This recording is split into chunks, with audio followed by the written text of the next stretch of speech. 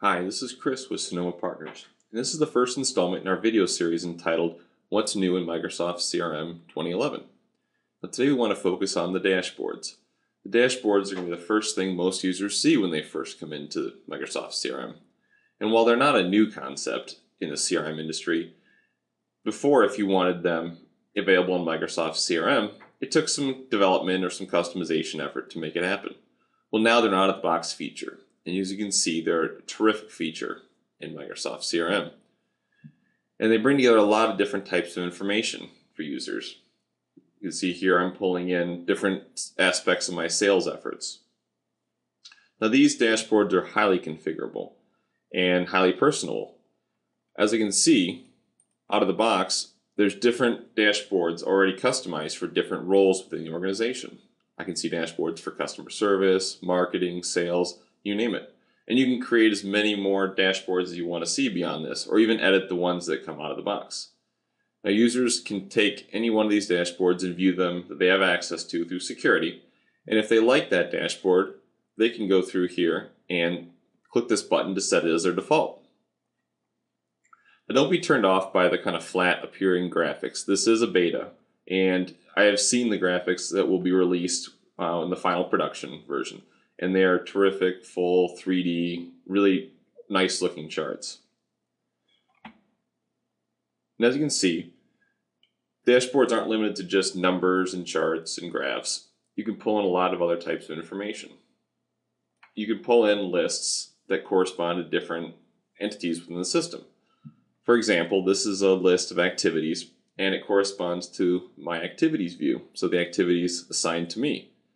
And the nice thing is once you enter one of these list objects, you get all the features available in the ribbon that would be there if you were in the that section of CRM. So from here I can create new activities, close these out, edit them, and this is open to any type of entity in CRM. So I can do the same for my opportunities, my customers, people I work with, you name it.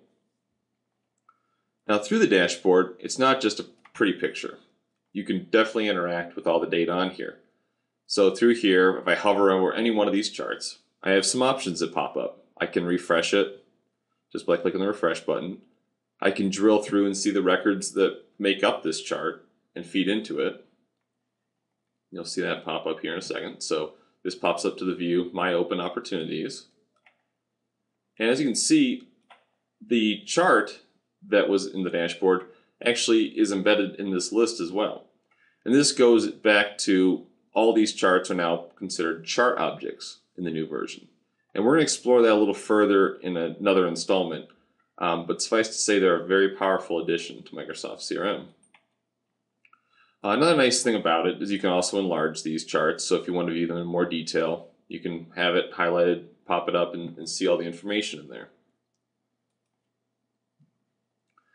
Now, like I said, they are very configurable. So we'll real quickly start to create one and see some of the options we have. So I can click new right here. As we can see, there's a number of different formats available out of the box. I'll go ahead and pick this format and we'll start the creation process. And it comes in blank with the layout that we chose. And the nice thing about that layout is that it's just a starting point. We can go through and resize remove, you know, do whatever we want to any of these sections. And within each section on the dashboard, we can uh, create any one of four objects. So we can create more of those charts that we saw before. We can add the lists corresponding to any entity we want and any view that we currently have access to for those entities. We can also drop in iframes so we can access external websites, for instance. We could pull in a big map that shows all of our customer locations. Uh, we can even create what's called a web resource or add a web resource. And web resources are a new concept in CRM 2011 that allows you to upload pages or pictures or other web type files and allows you to embed them and use them in different parts of CRM. And that's a very nice new feature as well.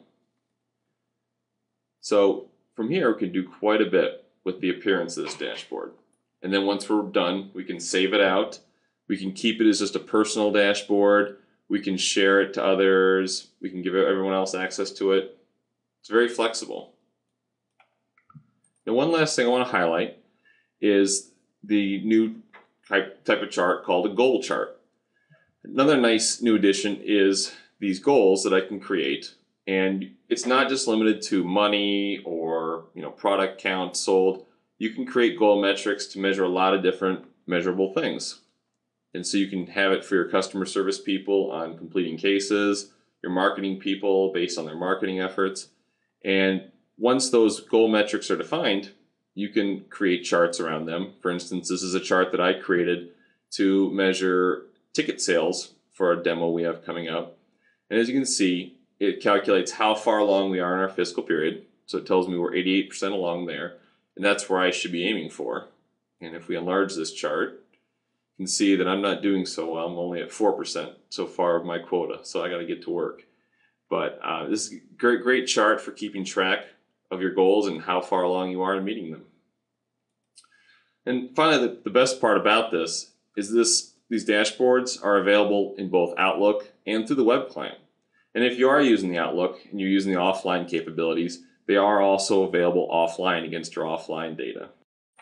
In conclusion, the new dashboard feature in Microsoft CRM 2011 is a powerful business intelligence tool designed to empower your users to make informed business decisions. For more information, please contact us through our website at sonomapartners.com.